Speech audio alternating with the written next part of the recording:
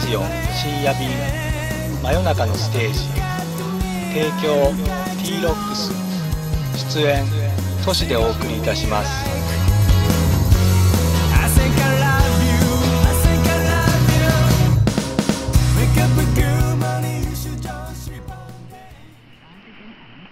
はい皆さんこんばんは、えー、今日も一日お疲れ様でした。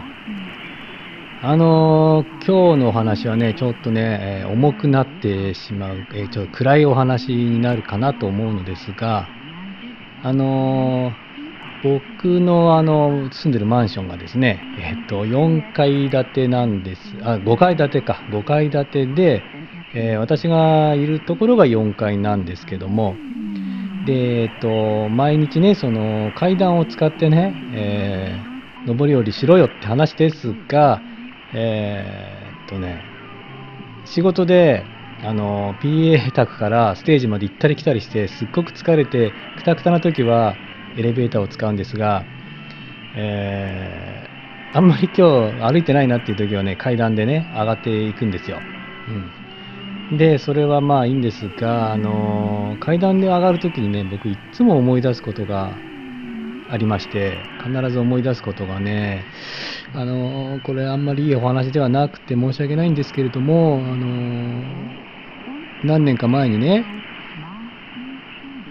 事件、事故が、あのあるところでありまして、ちょっと場所とか全く覚えてませんが、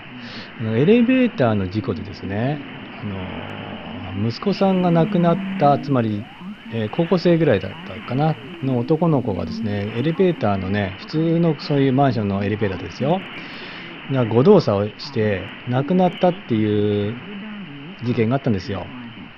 何何回かそういうエレベーターの事故ってちょっと聞いたこと多分あると思うんですけれども、で、そのね、本当に悲惨な、あの、その子何も悪くないわけですからね。うん、しかも、あの、車にはねられたとかね、その、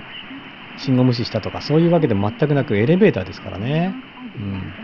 あの、事故に遭いようがない、あの、違反しようがないような、ね、ことで。なんでね、それで非常にお母さんが悲しんで、もちろん悲しみまして、あの、ちょっとテレビ出たのかな何かその、そうこういう事故なくさなくしてほしいってことをなんか言ったのかなちょっとそこまで覚えてるんですがただ覚えてるのがそれ以来その方は確かあのマンションの多分かなりの最あの高いところに住んでると思うんですよ。ちょっと何階だか忘れてましたが、2階とか3階とかじゃなくて、かなりエレベーター使わないとちょっと辛いなっていう階だったと思うんですよ。上の方のね。で、それ以来そのお母さんはもう絶対にエレベーターを使わずに必ず階段で上がっていく。これは、あの、そうですね、いろんな思いがあると思うんですよ。息子さんのことも思ってね。えー、階段を、エレベーターを使わずに階段を上がっていく、上り下りをする。うん。これをもう何年も続けているっていうのを聞いた、聞いたんですね。うん。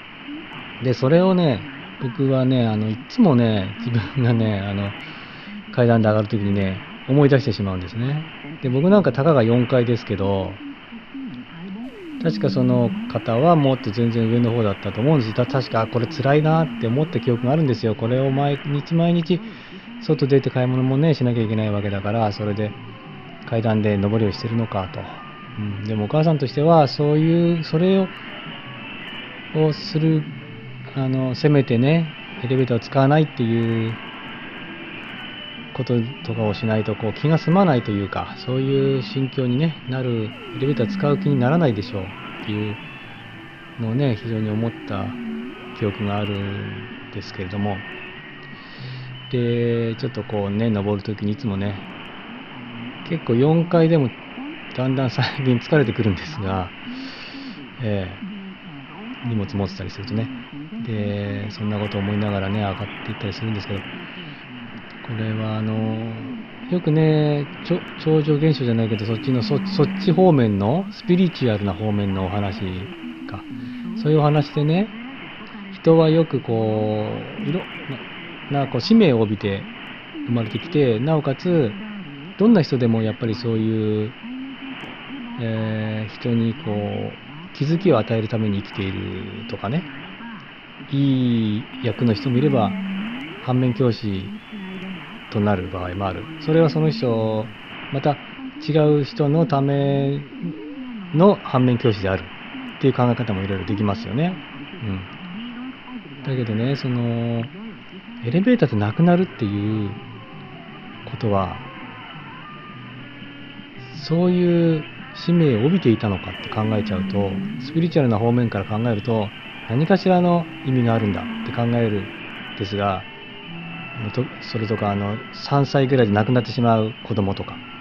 ね若くして亡くなってしまう子供とか病気とかそれも両親ののためにあのそういう宿命になっているんだとかそういう考え方がありますよね。だけど今回のような本当にこういう事故で亡くなってしまうような人もそれが当てはまるのかどうかわからないですよね。難しいなっていつもねよく思うんですよね。これ僕もスピリチュアル方面もちょっとこう聞きかじっている程度ですが聞いたりするとまあそれで納得できる事柄もあればこうやって納得できない事柄もある、うん、って思いますね。やっぱり生きているうちは結局わからないのかと。本当に何かこう分かる人霊能力者という方がいっぱいいますけれどもそういう人は分かっているのかどうか分かりませんが、えー、僕な僕みたいな凡人には全くね分からないのでね本当にねあの歌にね何も分からないから僕は生きるっていう歌がありま歌の歌詞があるんですけれども、あ、それと同じなのかなっていう感じですね。何も分からないからこそ生きていかなきゃいけないのかなっていうあの感じですかね。うん、でやっぱり生きていくとねそのトラウマになるようなことってやっぱりどうしてもありますよね。皆さんも何かあるかなと思いますが、うん、気をつけていてもトラウマになってしまうような出来事自分もそんなあの大したことはきっとねないんでしょうがやっぱりどうしても忘れられないというかあんまりこう、うん、納得いかないじゃないけどそのそうですね。あのあんまり簡単にこう考えられないような、ね、ことはどうしてもねあのあったりするのでねそれとともに生きていかなきゃいけない。そのエレベーターの話に戻しますとその人はずっとそれを引きずって階段を上って生きていかなきゃいけないというね辛いトラウマを抱えてしまうわけですけれどもね。うん、ねちょっと難しいなっていつも人生って難しいなって思いますよね。なので、まあ結局何にもわからないから生きていくしかないんだなと、頑張って生きていくしかないんだなとは思っておりますけどもね。なんか今日はね、暗いお話になってしまいましたけれどもね、えー、また何かいろいろちょっとね、お話していきたいと思います。えー、はい、ありがとうございました。おやすみなさい。